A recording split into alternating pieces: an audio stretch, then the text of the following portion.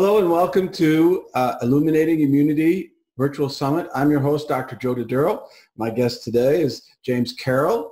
He has over 30 years of photobiomodulation experience. He's the founder and CEO of the industry-leading company Thor Photomedicine. He's collaborated with the foremost photobiomodulation academics, co-authored 22 PBM papers, contributed chapters to five books. He's recognized as an authority on PBM dose, dose rates, the measurements, and reporting parameters. He has recently, recently been named the Academy of Laser Dentistry's 2020 T.H. Maiman Award winner, presented to individuals that have demonstrated excellence in dental laser research. The award is named in honor of Theodore H. Maiman, the developer of the world's first laser in 1960. And here we are 60 years later with uh, James Carroll, and he's going to talk about the, the, the five possible therapeutic opportunities for PBM versus COVID. And uh, you've been working on this thing for a while. You've been thinking about this for a while, James? Yes, we have. And it, what came to your mind? These, did, did all these possible therapeutic, therapeutic opportunities come at once, or did it develop as you were continuing your research? You know, I've since day one, since 1987, uh, I felt that this therapy, you know, having seen what it did in wound healing, I when I attended my first conference, um, you know, the sons of Andre Mester were there, um, and uh, uh, Mary Dyson, former editor of Gray's Anatomy, her lab, listening to talks about wound healing. I thought this therapy would be in every corner of every department in every hospital in the whole world within five years, but I didn't know anything about the how difficult uh, medicine was to um, to traverse. So um, that's born out of ignorance, and the and the the goalposts seem to be moving away the closer we get to it. You know, uh, unfortunately. So I wasn't thinking, even though I remember Mary Dyson talking about. Uh, not talking about immunity as much, such, but she talked about immune responses uh, to infection. I remember the early phases of wound healing, how she would report on there being more neutrophils and lymphocytes in the, uh, in the wounds uh, that receive PBM versus those on the control group. And of course, in the early days, I'm just thinking wound healing, and later we get into musculoskeletal pain. Um, and that became the focus of PBM for many years, and then sort of neuropathic pain and post-operative pain, and gradually. So COVID-19 was not even on my radar, maybe nobody else's, apart from people who obviously predicted pandemics and have recognized they've been around for uh, for centuries. Um, so uh, of course, it took a pandemic before I was thinking seriously about, you know, as a priority. Mm. I would, perhaps knew that perhaps this might help, and obviously there's a contradiction with um, uh, with PBM. It's because uh, you think like, hey, I want more immune cells to go and do their job. Uh, but the problem, if you if you were to say to anybody, um, an immunologist, hey, guess what? This this increases the number of lymphocytes and neutrophils um, after treatment. You might think, well, hey, we don't want that. You know, when we've got a patient who's in perhaps critical stages of uh, of COVID-19 and they've got too many cytokines and you don't want too many of these monocytes, monocytes and macrophages and you know, this is not the time for neutrophils necessarily and, and things you don't want an overactive innate immune response. Uh, so what are you talking about? You know, so, um, uh, but those of us who do PBM and have obviously treated ourselves, friends, family, or and if you're a doctor, you've treated patients, knows that this is a this is an odd therapy in that it seems to be. Uh, we like to say it's um, it's it's it, it improves homeostasis um, and so when we say PBM increases this cell type or reduces this cell type, well, it's in very specific circumstances in certain phases of an injury or a disease. And so this is actually quite, to people who are not familiar with it, this is a, when we say it does more of this or less of that, um, it's disease and timing specific. Correct. These things. And, um, and I, I haven't got um, and other than saying it seems to improve homeostasis. Well, you know, Paul Chazot was talking about the accelerator and the brake and what is the timing of this. But I could just say that, you know, when you're looking at the the, the, the outcomes of all the various studies, and I'm sure you're going to review them in these five, you know, potential aspects. That I, you know, you're just seeing, you know, CPK, CPK, all these things, IL-6, all these things that you see in, in the hmm. majority of the PBM research.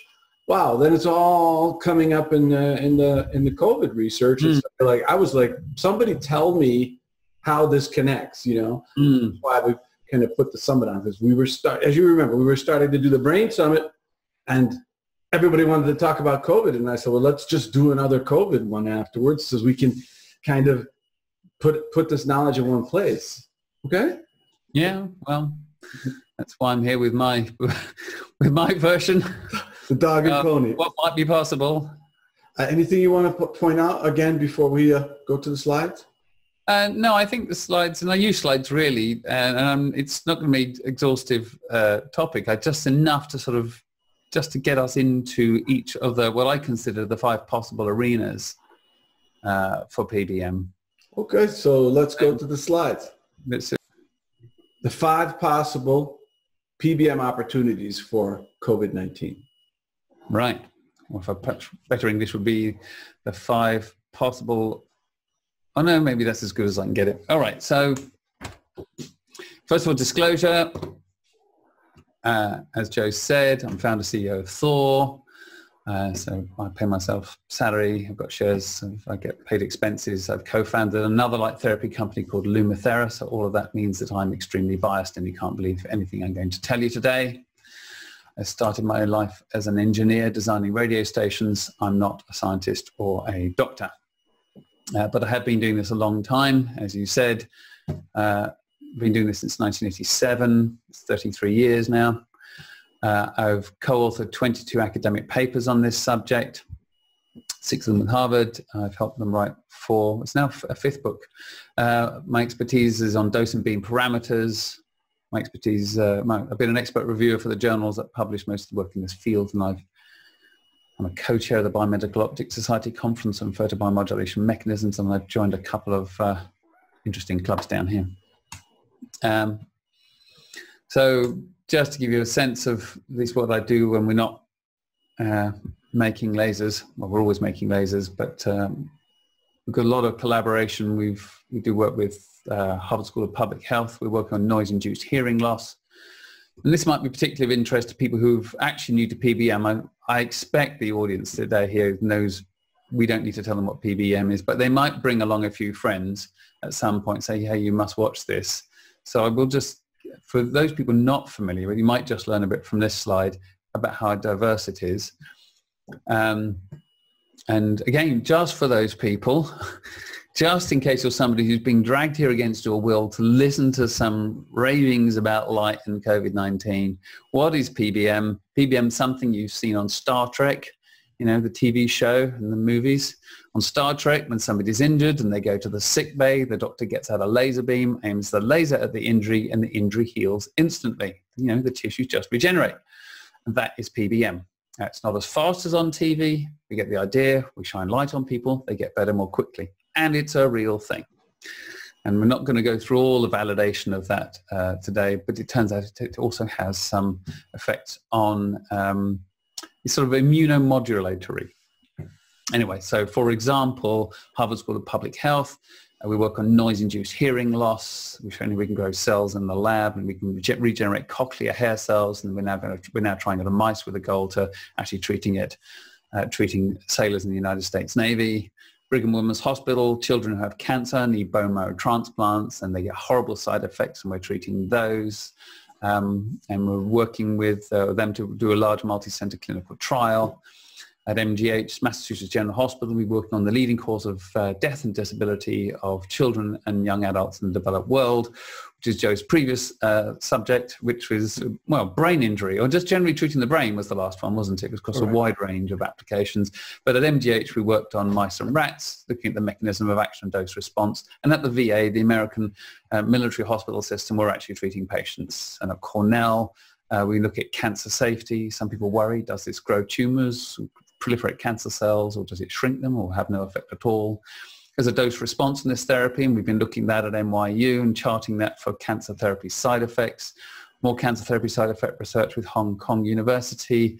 There's so many side effects, uh, inflammatory side effects from radiation and chemotherapy. Mm. It stops your saliva glands from working and you get these radiation burns effectively. It looks like that anyway. These are these um, a radiation-induced um, skin reaction, a form of dermatitis sports injuries here in Brazil, um, University of Barcelona Dental School, St. Jude's in the United States, world's leading research center for catastrophic diseases, again, side effects of high-dose chemotherapy and radiotherapy. Just to give you a slight taste between uh, the uh, Israeli army working on knee pain, uh, more cancer therapy side effects, Memorial Sloan Kettering and at Nova, chemotherapy-induced peripheral neuropathies, acute myocardial infarction in Tel Aviv, and so on. And in our National Health Service, we just finished an eight-center clinical trial, uh, head and neck cancer patients treating the side effects of the radiation. There's a huge list, and this is just a start really I'll give you if you're not familiar with an insight and now we're in 55 different institutions around the world um, collaborating on various things. Uh, the white thing, as the yellow ones are all cancer related and all the pink ones are uh, sort of sport related and various other things in white text. So there's a lot of work going on in the field. So first of all, COVID-19, before you get too excited, there's no clinical trial evidence, okay? Um, and I just want to highlight that I'm not going to talk about the direct antimicrobial effects of light. It is well known that ultraviolet light kills bugs. It's a, used as a form of sterilization for instruments and for rooms. So there are wavelengths of light that will directly kill bacteria, viruses, fungal spores, that kind of thing. And I'm not talking about that. People do sometimes think it's PBM and it's not PBM. Antimicrobial light is a different therapy. Uh, even though PBM does, and we will talk about, have some effect on immunity, may help your immune system deal with bacteria, viruses, and fungal infections. Um, that might be PBM, but these antimicrobial effects, it's not what I'm talking about, and it's not really PBM. Uh, and I must say, immunity is, I've written it carefully, script for myself. Immunity is a highly specialized, complex subject, and I'm not competent or qualified to advise on those matters. Uh, but I do have a long history in photobiomodulation and probably the most extensive research database on the subject. So I can pose some questions for immunologists to speculate on and talk about the little bit of evidence, uh, relevant data that is available to them. And really wouldn't mind sparking some interest. Um, so the five possible opportunities I think are before you're infected, after you're infected, and particularly the severe cases, and obviously some people have few symptoms and it comes and it goes. Um, um, some none at all. But I'm talking about, I'm going to be talking about hospitalized cases and then hospitalized cases who progress to ICU. Uh, and then people, a lot of people taking a long time to recover from this. Mm. Uh, and then um, what might it do to help uh, the production of antibodies? That's my short slide version. So boosting innate immunity. So apparently there's your innate immunity, that means that's your, what you can have a, a new virus, bacteria or fungal infection you've never seen before and your innate immune system tries its best to deal with it because it doesn't recognize the infection. So, so you think neutrophils and lymphocytes to go after those. Uh, so what have we got about PBM and uh, the innate uh, immune system? Not a lot. Uh, disappointing, really. Um, Neutrophils are really the first response against uh, a coronavirus infection, according to the reading I've been done. Um, but these neutrophils can also contribute to the pathology in sort of a later phases of the disease. Uh, um, and it turns out that we're going to talk about the later phases in the next section, really. Um, but so I'll come back to that. Um, neutrophil activation via oh, typo is via PBM to bone marrow. So yes, your neutrophils made in your bone marrow and uh, putting laser beams and other intense light sources. Uh, your bone is sort of translucent, uh, traditionally in traditionally like it's done all the time, but experimentally it has been shown in human clinical trials or a human clinical trial that when you put light into the tibia, so your shins, um, why the shins? Because there's not much meat in the way, you don't have muscle in the way, and it's easy to get light. The bone is translucent. You can get light into bone marrow, in other clinical trials, it's been shown that it causes mobilization of um, mesenchymal stem cells that just float around the body and do interesting things, which we might come back to later on.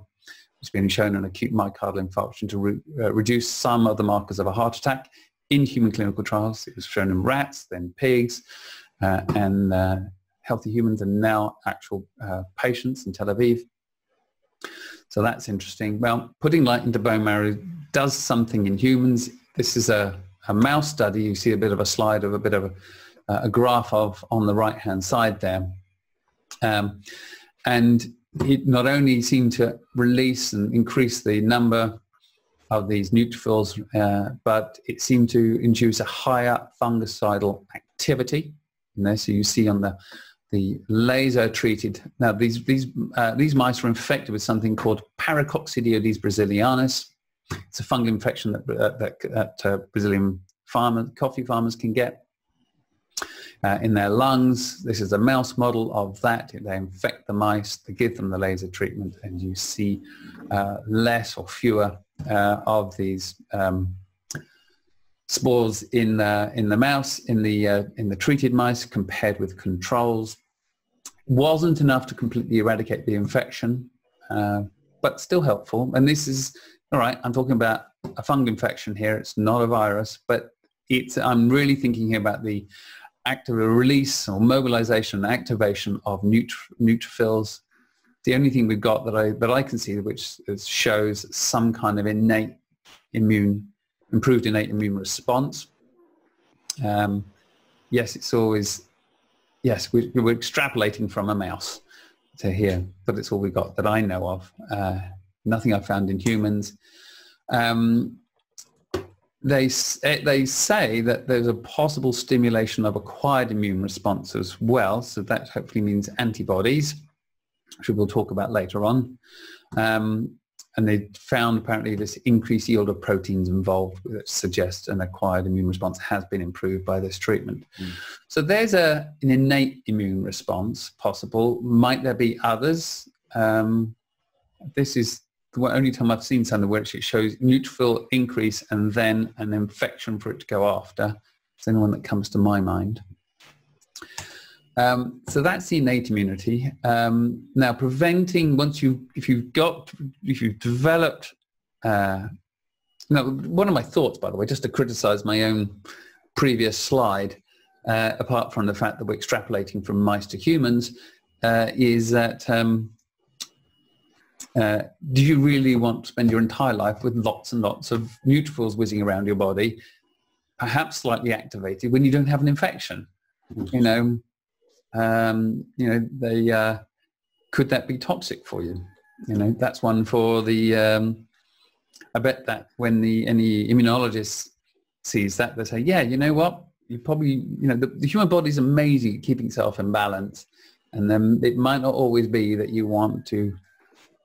Perhaps we shouldn't be allowed to control our immune system because directly because um, James, James, harm one thing that we talk about is when you you know you talked about homeostasis and yes. innate immunity yes. one of the things that you know chiropractors used to talk about was an innate intelligence that was the mm. thing that maintained the homeostasis so mm. you know uh, that's something that it's again the complexity is is is large so i don't think that in an innate response you're going to the body's going to if you put light on you and you don't have a desire for neutrophils there's not going to be extra neutrophils just because yeah. you put light on. I suspect uh, you know, the it's nice to have some romantic names like uh, the intelligence and frankly it is so awesome. Biology is so awesome that uh, you're probably right it's a, it's a, it's a it's, it's showing some great respect for it to say that it has that. And, uh, and i don't think it's probably unfair um, uh, choice of words because it is awesome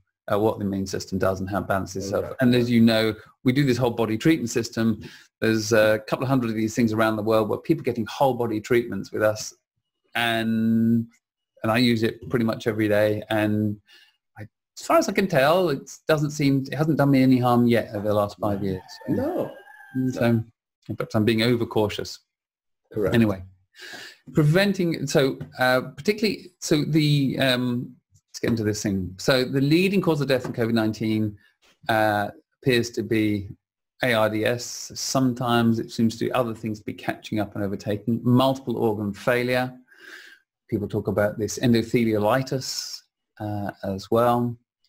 I've even heard of uh, a, a, form of arthritis being caused by it, but people have brain issues, don't they? Heart issues. So, but anyway, in the early literature, it seemed that ARDS was the most challenging uh, effect of this in the severe cases.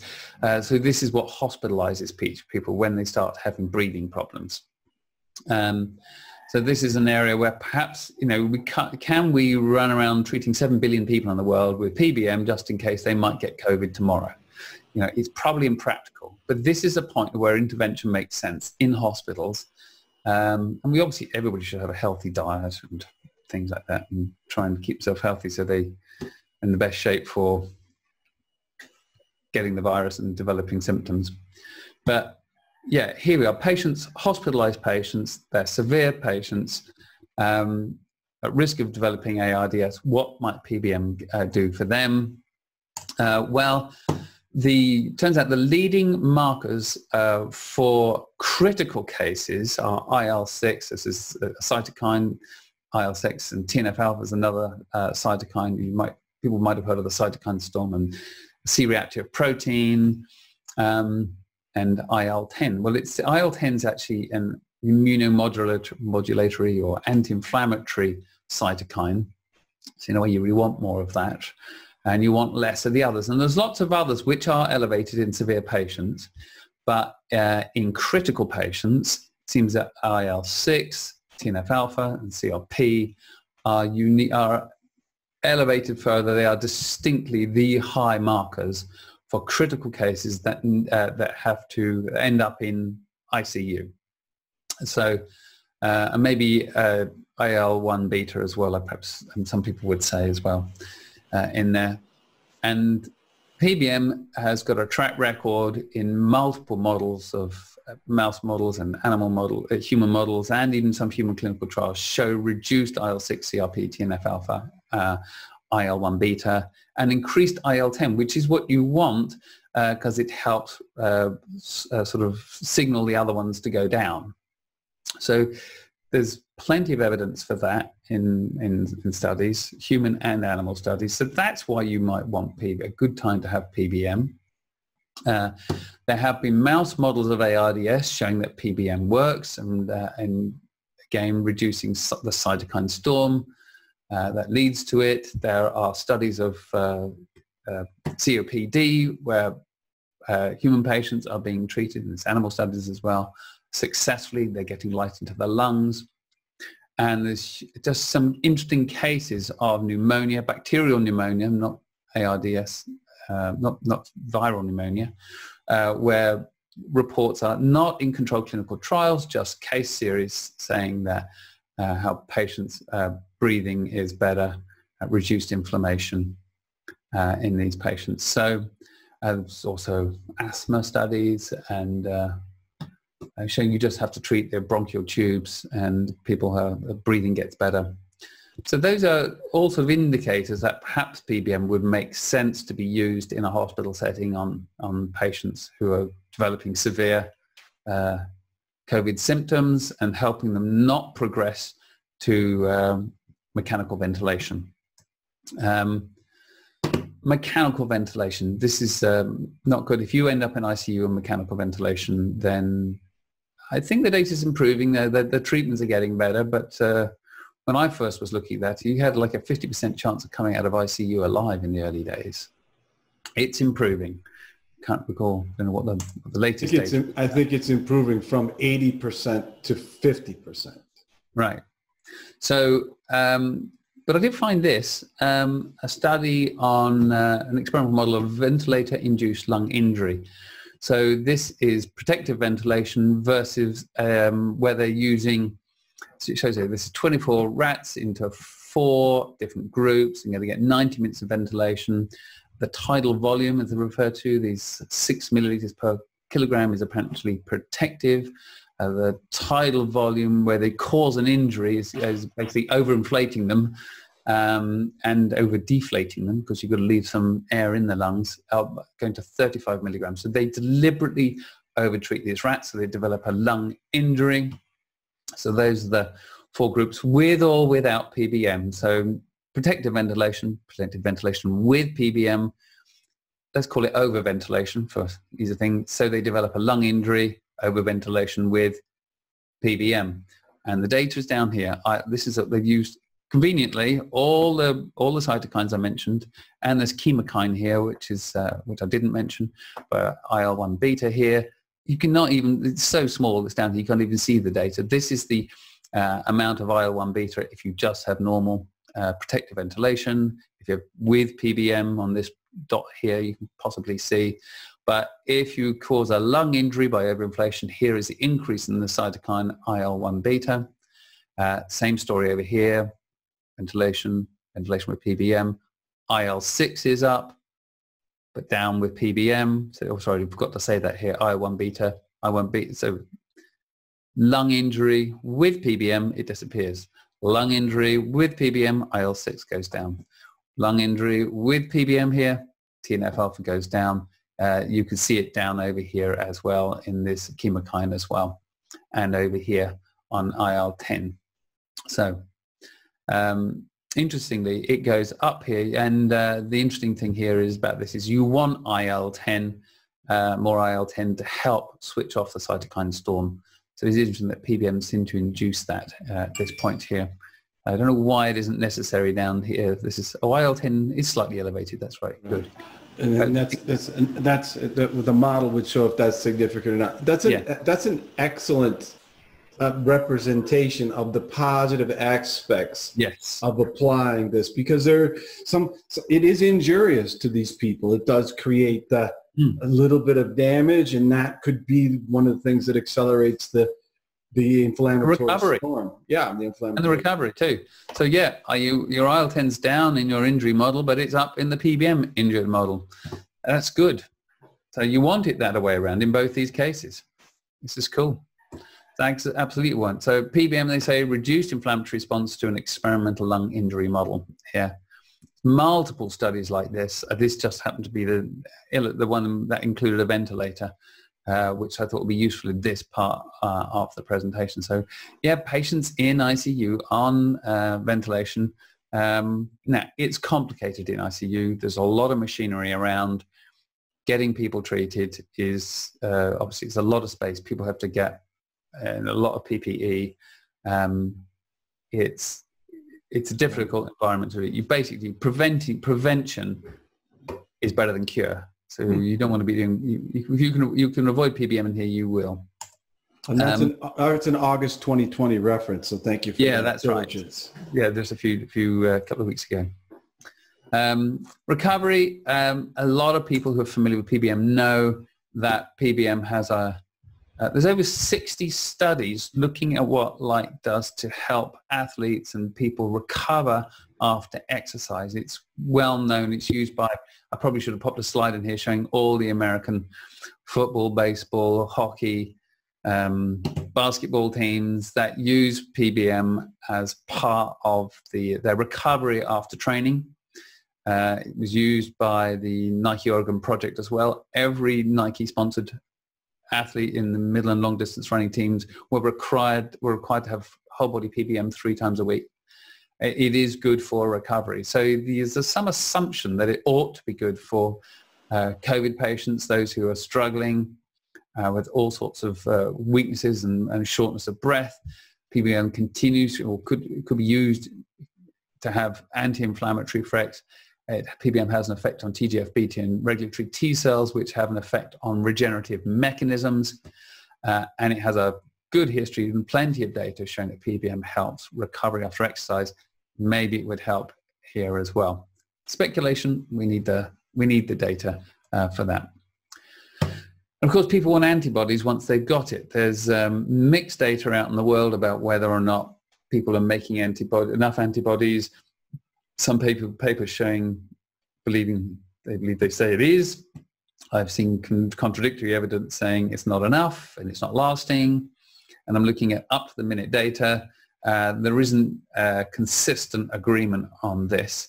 Uh, I would probably bow to the view published in a journal like Nature rather than uh, the ones I haven't heard of. Not that I'm an expert in um, uh, immunology, so I don't know which the journals are, but looking at the journal Nature and and, and things like the Lancet, then there are still question marks hanging over whether or we're making enough antibodies and that whether or not they're lasting enough.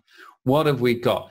Nothing directly, but I do have something interesting uh, for you. And that is that it seems to increase the motility of antigen-presenting cells in a, after, uh, after a vaccine injection. So a lot of people are concerned that even if we have a vaccine or when we have a vaccine, there's going to be lots of vaccines, aren't there? They're, they're coming thick and fast now. Um, that PBM combined uh, with the administration of a vaccine uh, seems to improve these uh, uh, antigen presenting cells. So it's applied to the skin at the site of the injection. Um, this study reports that it had increased antigen uptake at the site of the vaccine, uh, accelerated motility uh, of the antigen presenting cells to the lymph nodes, so transporting to the lymph nodes there. Um, a few local or systemic side effects. And this is in um, this is in a oh this is a, a, mouse study, but they've oh is it humans or mouse? I've forgotten. I could look that up uh, in a minute. Um, no, this is humans. Yes. So um, um, yeah, so they conclude that PBM augments humoral and cell-mediated mediated immune responses, and it's risk-free, has distinct advantage over traditional uh, vaccine uh, adjuncts as well. So that's interesting, could help our vaccines. If it works to help a vaccine, does it might it also help as part of your, uh, your adaptive immune system? So adaptive meaning after you've uh, had an infection, your adaptive, your innate immune system sensing your adaptive immune system kicks in, and maybe we're helping. Maybe, I mean, why not? I don't know. Um, so maybe that would be interesting. Um, oh, there is something else uh, I want to mention. Um, a 50, a report of a COVID patient in a hospital treated uh, with PBM 57 year old African American with severe COVID-19 was treated four times or once a day uh, for four days, uh, treating over his lungs, uh, over his back, so posterior, um, with a mixture of uh, 808 nanometers and 905 nanometer pulsed laser Though when you look at it, and I'm going to show you some data in a moment on the, on the parameters, there was one and a half watts of 808 and there was 35 milliwatts of 905. So in comparison, it seems like the, the, the 808 nanometer was doing all the work really. That's 1,500 milliwatts versus 33 milliwatts of the other one. So mostly, by a long way, mostly 808 nanometers, treated for nearly half an hour, 28 minutes, uh, you'll see why, because it was a scanning laser that covered quite a large area. Uh, I probably should have showed, I haven't provided, um, put the lung edema slides, but you can see in the, um, uh, in the x-rays that there is less lung edema in the, uh, afterwards rather than before. And they take, do all sorts of pulmonary severity indices, blood tests, looking at oxygen requirements. Our oxygen saturation increased from 33, 93 to 94 up to 97 and up to 100%. Uh, we had uh, our own patients um, who, say we, our own uh, owners of our product, reported then they were down to, one of them, it was a couple, 92 and 94% they were down at home, really didn't want to go to hospital, started using our whole body treatment system and got themselves pretty much, pretty much identical story. I think they were saying 97 to 100%, though it didn't, though it does come back. It's not like a once off and it comes back and then I might caution against just because somebody looks like they're better for a, a, day, don't discharge them because they might need treatment again. Mm-hmm. As a little thought, because uh, fortunately these people, this couple had, because uh, they got it in their house, were able to keep coming back to it. Um, As, as, as a side note, uh, Soheila Mokmeli, uh, the author of this and two other papers will be presenting at the summit. So they'll be in, she's going to talk about her experience okay, how good. she got that done out in Canada. And you should also note in the summit that uh, Cocos had a, an early case series of four people with very similar results. And it was about five, four to five days for recovery for their Hmm. oxygen saturation to go up. Yep. And I, I'm not sure how many treatments they they they actually uh, gave this uh, in this this uh, this man in the case series. It's four, oh, so this study here, it's four treatments, four daily treatments. and that was it. Four days, and that, that Yeah. seems to be like what uh, they're saying is that Yes, it, it, it, it chimes with what we've heard from the couple that the whole body thing. And I know a vascular surgeon who was already a, a user of our product, using it himself. Um, he didn't have any data to go with them, and at least our folks had the presence of mind to check their oxygen saturation. And in this study here, saying that uh, the requirement for oxygen reduced from two to four uh, liters per minute to one liter per minute. And so substantial improvement in the community acquired pneumonia assessment tool, apparently. And uh, oh, there's a picture of where they were treating. So this is the back of the patient there. It Wasn't a solid lump like this. As you can see, it's actually a scanning laser beam which kind of moves around up and down to cover the whole area. So it's actually three beams and I think it might rotate and I think it moves up and down a little bit like this. If you can see my mouse pointer here correct. and then we're doing it on both sides there uh, and they're covering this 10 by 25 centimeter area so 250 square centimeters with one and a half watts of 808 laser um, and I will bring up the uh, the the data just because it's my favorite topic this is, what, Correct. this is what makes me happy well except that it's not correct that's the problem Well, Uh, let's. they've it- got- that is it, it's it, of course there's parameters that are that are there's. I'll, I'll take a screenshot. There's yes I, that's So, why I uh, work with a medical physicist because I know James Carroll's going to look at my stuff. So oh, it's cruel. It's, it's, it's, you know, it's a, it's a ner- it's an unfamiliar, nerdy topic that people are just not used to. And I, I, I no longer think badly of people. I know it's confusing. Look, you take me into your, your world, whoever your, your profession is, and ask me to write a paper on something, and I'm going to make mistakes. Of course I am. Uh, I, I think about these things all the time. Uh, so there's a bit of, I think somebody's I cannot make sense of this pulse regime here. Uh, one hertz divided by two kilohertz. Huh? Okay, whatever that's about on these two sides. This is the 808 and this is the 905. I you don't norm. I doubt that was pulsed like that. This would be quite a common pulse regime. I think this is two. This wasn't two kilohertz. This was um, 200 nanoseconds. That would have been, and that may well be oh, that's one kilohertz. Oh no, I don't know. That doesn't make any sense. Forget it. Anyway, it's not, it's, it's, there's mistakes in there Okay. uh, somewhere. And I calculate the, uh, the average power. Uh, then I get to 1.5 uh, watts here plus the 30 thing there's 1.533 watts. See, the 33 milliwatts is is is irrelevant almost. It's so small by comparison to 1,500 milliwatts over here. Mhm. Spot size is reported as 19 centimeters per centimeter squared on the beam. Well, that's the triangle, I think. There's, going to, there's the, the beam there. But the thing is, the beam's not standing still. It's covering a whole area over 28 minutes. So the irradiated area, my view, is when you're, you've got a scanning technique and that devices are built in them, uh, electronic um, motorized scanner moves it up and down. This is not relevant. What's relevant is the area. They should have used this number here, the 25 centimeters squared. So instead of um, 65.5 joules per centimeter squared, oh, by the way, they call it 7.1 to 7.2 joules per centimeter squared. No, it's 65. Um, and I should have drawn the arrow from there. Um, so no, not seven. It's actually, and when I divide that power by this area, it's actually 5.1 joules per centimeter squared is my calculation. Anyway, And What would Um, be that distance from the skin? I mean, a lot of people, uh, you use uh, distant panels. Some Yeah. people are scanning and things like Yeah. that. Now, Yeah. what is that due to? All right, so we have a calculated the power, but that distance is going to reduce a lot of things. How Well, do you calculate that? let me answer. There's, there's, there's two possible things people might be thinking of. Is first of all, uh, most people who are new to lasers would imagine that laser beams are collimated, and that means that they go in a straight line, like a pencil.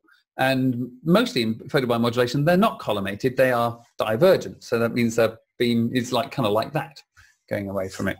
And in uh, mostly they are divergent. This product here uh, appears to be a collimated beam that's moved around a lot. So the beam profile is that leaves the actual head, arrives at the same size on the patient's body.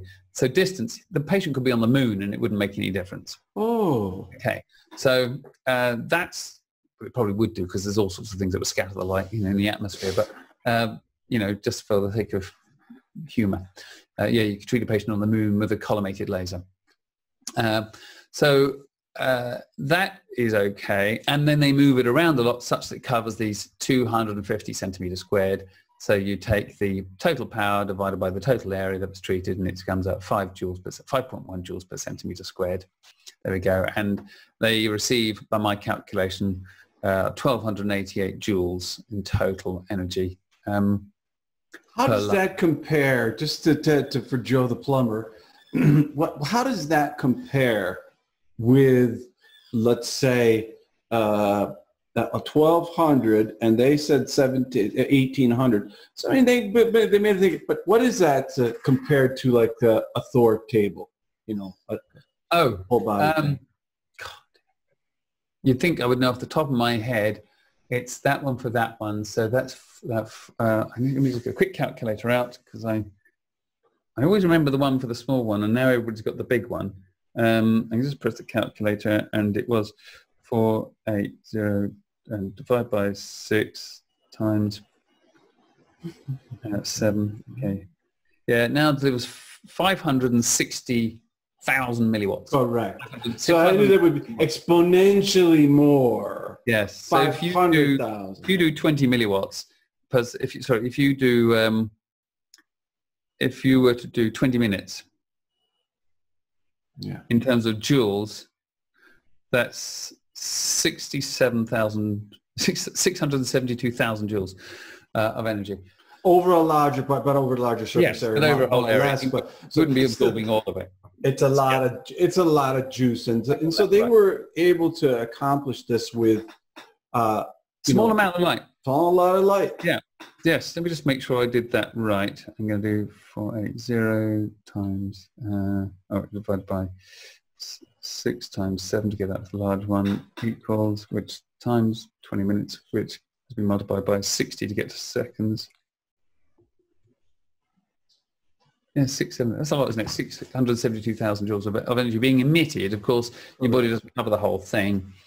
Uh, but actually, as the joules per centimeter squared, it's considerably less because if you do joules for each centimeter squared of the body, uh, it's be 0.028 times uh, 20 times 60 seconds, uh, 60 seconds, 33 joules per centimeter squared, which is But quite you're modest. also front and you're you're Front and back, doing both, front doing and both back so simultaneously. So the whole body all at once, 33 joules, 33 point joules per centimeter squared for a 20 minute trip, Lovely. Which is Ah. not, which is no longer excessive, is it? So. No, So, and it, it, it's funny you kind of bring that subject up because uh, there's another thing. another another another thing. Yeah, and another thing. Um, Oh, wait, wait. Let me and just, that let is- me just say this. Now for something completely different. Go ahead. that's very English of you. Yeah. You're obviously a Monty Python fan. Huh? So, uh, so uh, the Biomedical Advanced Research Development Authority, BARDA, in the United States, is funding all sorts of uh, uh, therapies for uh, for COVID nineteen, uh, and so we're uh, we've been speaking with them. They've uh, they like the sound of PBM as a treatment for COVID patients. Uh, we've collaborated uh, with Praveen at Buffalo University. Uh, they've written, it, they've designed a trial. We've designed a product specifically for the hospital. Um, looks like that. So it's a single-sided uh, device that goes over a hospital bed because it's still putting patients out of bed, uh, and so it treats them like that. Uh, and uh, we've uh, been through the first stage of FDA with them uh, to approve the trial design. Um, so one of the things they're interested in is uh, that we do a clinical trial that if, assuming the photobiomodulation is successful, that that we've designed, or Praveen's University's designed a trial that, if proven to be successful, is sufficiently powered. So it's 902 patients, probably across, I don't know, probably uh, 10 hospitals or something. Um, and that if it really does produce the results, it's probably powered. They've got, the, they've got approved outcome, primary outcome measures, um, and uh, the product uh, we've got through phase one with the FDA. We've got to go through another phase where we have to go to a meeting with them. If they like that, then we go back to BARDA and say FDA have blessed the trial design, and then uh, we then try get BARDA, who was uh, was keen to do to fund it, to actually fund a very large uh, multi-center clinical trial with PBM. So that's where we're at. We're in phase one of three of on, on the journey to, to getting funded. magnificent magnificent and and as a, that's just great work uh, that's just great work now remember that the, the covid summit is available for people for free to watch and if any of those barda hotshots want to look at some of the evidence we've got a bunch we will be doing that. There's a meeting that we will be going to. If, if we get through round two with the FDA, then we're then we'll be going to uh, BARDA, and yeah, we'll be using this and other data. Uh, but we've focused our minds on hospitalized patients uh, because it's not practical to treat 7 billion people and hopefully boost their innate system uh, every day of the week in the, in the event that they might bump into a virus. Not practical. I think uh, it's not practical in ICU. You know, better to treat people before they've had COVID, before they're in recovery, prevention's better than cure. Um, so uh, we are, well, prevention of the virus is unrealistic, but preventing people, severe patients becoming critical is what we've decided to go for in this. Wonderful. So um, that's where I say, um, oh, this, this is our, we actually, this is the first people treating the back of the lungs. We have uh, treated people on the back of the lungs before uh, with these giant laser cluster probes. There's 80 lasers in each of those delivering 200 milliwatts each. So 16 watts of light each. Uh, each. Treating back. Yeah, 16 watts. So pretty much, it's funny, when we saw those two drawings, we thought, hey, isn't that our product? uh, so there we go on that thing. And what we've got over here. Yeah, and then of course, what our other friends were using was, uh, our customers were using this uh, whole body treatment system. And I would also point out uh, that I believe it was Lisa Loxo who pointed, who did her uh, COVID talk on the sepsis. Because right. e- even at the end, yes. if you have yes. co- continuous fibrosis and you get millions of people, that's going to be a de- the disability that's that's yes. Oh, the long term the long term effects of COVID um, could be considerable. That's also the neurodegenerative effects, as we talked about. You know, yeah, that's something that's going to be coming into after they get them out and they're mobile and they're outside the hospital, and then the, you see the increased incidence of of cognitive decline. Yeah. Anything so, else you want to add? Oh, there it's all bright. Hello. Oh, there it is lit up now. Yeah. Uh, no, um, uh, this is normally uh, where I say, um, um, um uh, you. Uh, thank you all for coming. Thank you all for going. You may now clap your hands, which is I do here. There we go. Yay! Thank you very much. Thank you very much. And then finally, uh,